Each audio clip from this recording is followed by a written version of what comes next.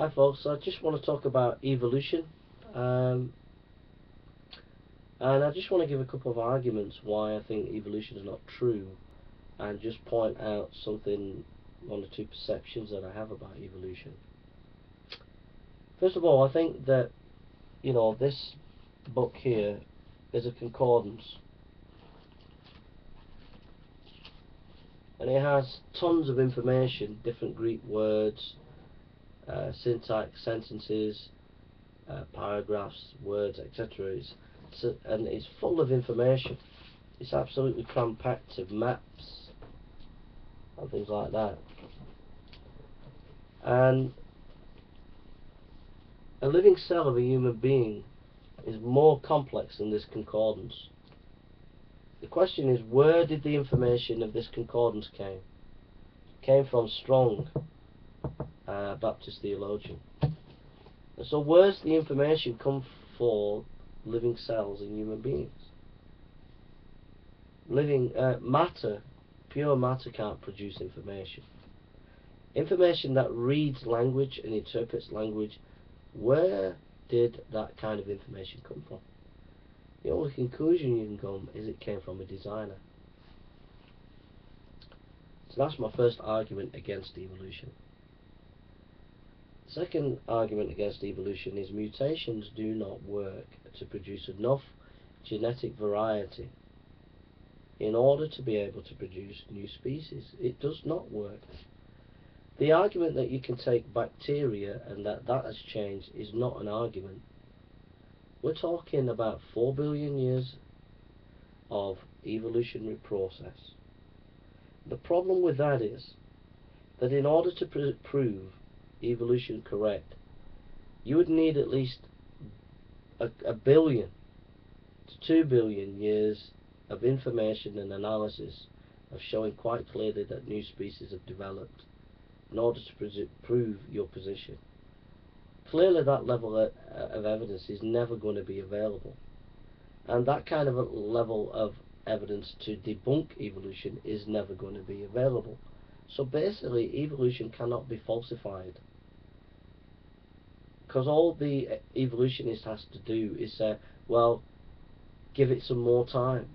And that's what they do, they increase the time factor of the evolutionary scenario, which protects it from critique and, and, and argument. All the arguments that the evolutionists bring onto the table, whether it be retroviruses or whatever they bring, um, they're all arguments from authority. They're not actual arguments of demonstration for evolution. Like I said, the only way you can prove evolution is not from the fossil, fossil record, is not from the genetic distribution within the uh, within various species.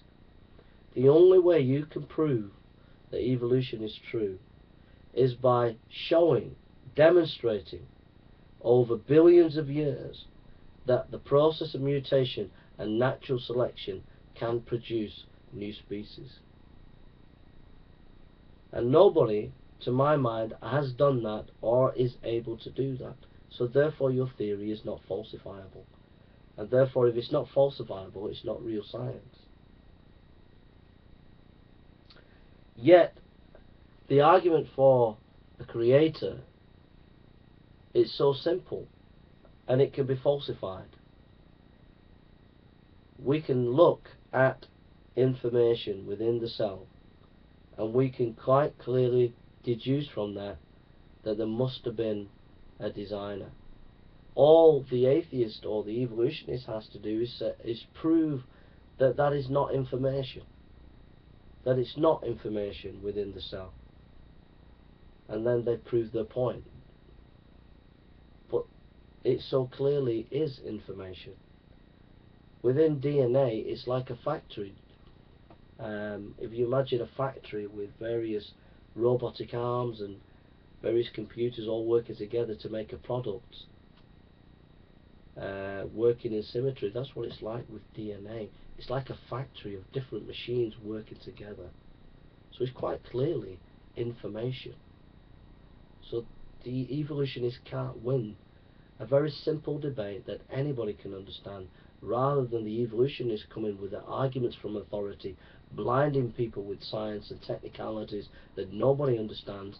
That is not argumentation, that is pure argument of authority.